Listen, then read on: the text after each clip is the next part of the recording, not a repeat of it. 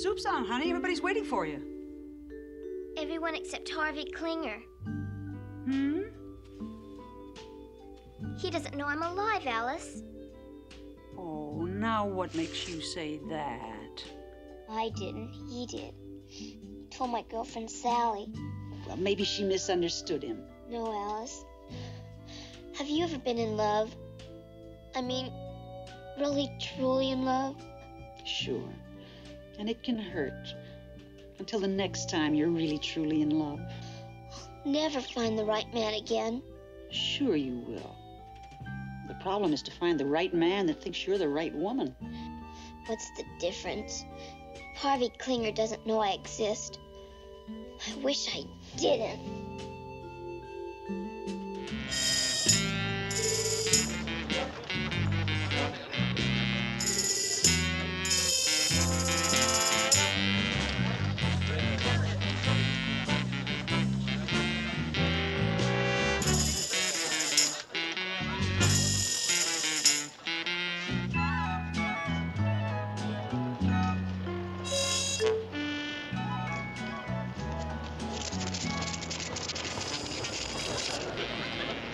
Is anybody sitting here?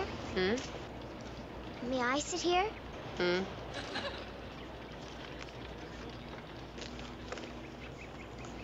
Nice day, isn't it? Hmm. Well, of all things, a lateral femorata. Where? Where? Right there.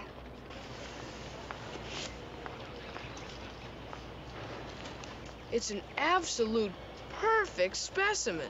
You can have it if you like. I already have one. Gee, thanks. My name's Harvey Klinger. I'm Marcia Brady. You're the first girl I ever met who knew anything about bugs. I collect them. You do? Say, aren't we in the same English class? I don't know. I sit in front. What's that you're reading? The Wonderful World of Insects by Professor G.T. Hardgrove.